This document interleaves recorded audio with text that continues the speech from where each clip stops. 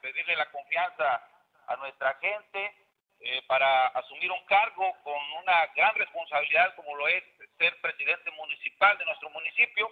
Y bueno, yo eh, dejé claro el día lunes mi postura en ese sentido, mi postura política no es una postura personal de poderle prohibir a alguna persona sus derechos civiles y políticos, sino no estoy de acuerdo en que se utilicen este tipo de, de cargos eh, para ser trampolín y poder buscar eh, otra eh, situación política. En este caso, pues es sabido por todos que el ingeniero Joel buscará la candidatura a la diputación por el distrito local de Huejutla. Ingeniero, en este sentido, en la votación de Cabildo, ¿se cumplió al menos con las dos terceras partes para que Joel pudiera obtener licencia o renuncia?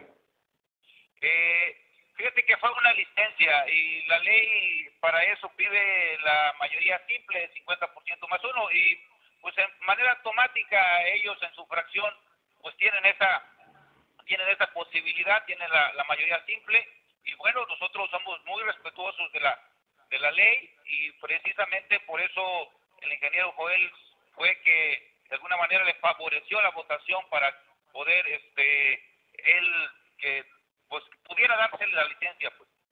Ingeniero, hoy esta acción, eh, lejos de estar permitida por la ley, se puede decir que es inmoral. La verdad, digo, te repito, eh, por lo menos en mi postura, eh, y fue también la del regidor del PRI, creo que nosotros en un momento dado buscamos la posición precisamente para lo que está el periodo, el, prácticamente tres años, nueve meses, que representa este periodo administrativo, eh, desde mi punto de vista no es correcto, ¿no? Y lo he dicho y lo seguiré diciendo, eh, creo que los ciudadanos eh, merecen ese respeto.